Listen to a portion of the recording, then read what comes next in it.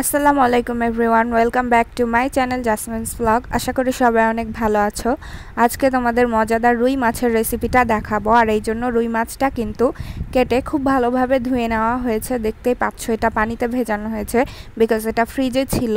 আর এই যে মাছগুলোকে এখন ফ্রাই করার জন্য মশলা মাখানো হচ্ছে, এখানে হলুদের গুঁড়া লবণ, মরিচের গুঁড়া, এগুলো অ্যাড করা হয়েছে। আর এগুলোকে অ্যাড করার পর কিন্তু এটাকে খুব ভালোভাবে ম্যারিনেট করে নিতে হবে।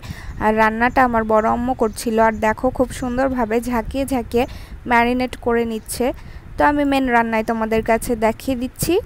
বড় আম্মু প্রথমে মাছগুলোকে কড়া করে ফ্রাই করে নিয়েছিল, আর এই যে ফ্রাই করার পর সবগুলো মাছের লুকটা অনেক সুন্দর হয়েছে। মাছগুলোকে এই অবস্থায় ইচ্ছা করলে সাদা ভাত দিয়েও খাওয়া যাবে, আর এই যে মাছগুলো যেহেতু আলু দিয়ে রান্না হবে, তাই আলুটাকে আগে মশলার সঙ্গে কষিয়ে নেওয়া হচ্ছে। তো কষানোর সময় কিন্তু রেসিপিটার কালারটা অনেক সুন্দর হয়ে এসেছে, দেখো। আর আলুগুলো মোটামুটি অনেক ভালোভাবে মশলার সঙ্গে মেখে গিয়েছে। তো এই পর্যায়ে বড় আম্মু এখানে ঝোলটা অ্যাড করে দিচ্ছে অল্প পরিমাণে। আর ফাইনালি কিন্তু যত পরিমাণে ঝোল রাখবে, সেই পরিমাণ পানিটা অ্যাড করা হয়ে গিয়েছে। আর এইখানে ঝোলটা যে মুহূর্তে ফুটে উঠেছে, সেই মুহূর্তে কিন্তু মাছও অ্যাড করে দেওয়া হয়েছে।